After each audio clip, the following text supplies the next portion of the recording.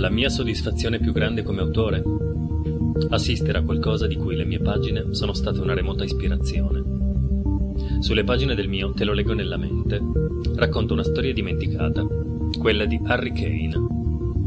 All'inizio del Novecento i giornali non esitavano a chiamarlo sensazionale mentalista e la più grande meraviglia mentale della storia. All'inizio dei suoi spettacoli spiegava che le persone normali usano solo il 10% del cervello e che con un po' di allenamento si può arrivare a utilizzarlo completamente.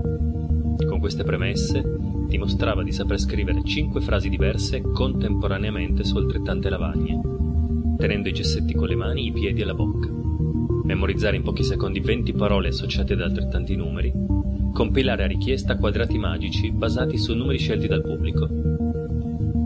Vanni De Luca incontra Harry Kane tra le mie pagine e decide di riproporne le meraviglie a un secolo di distanza. Il 28 marzo 2014 mi regala un viaggio nel tempo. Sul palco della Teatroria di Torino risolve un cubo di Rubik, un percorso del cavallo degli scacchi e compila un quadrato magico mentre recita un intero canto della Divina Commedia, lasciandomi senza parole.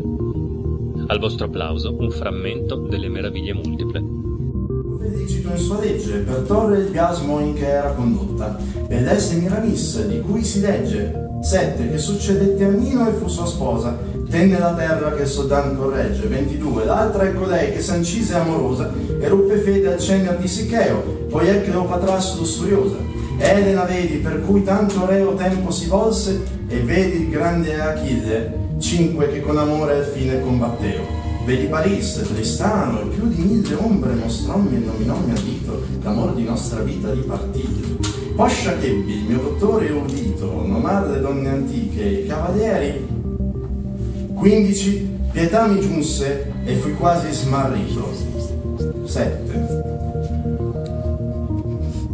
I cominciai, poeta, volentieri parlerei a quei due che insieme vanno e paionsi al vento essere leggeri 32. Ed egli a me, vedrai quando sarai più, saranno più presso a noi. Eh? Bravo Vanni.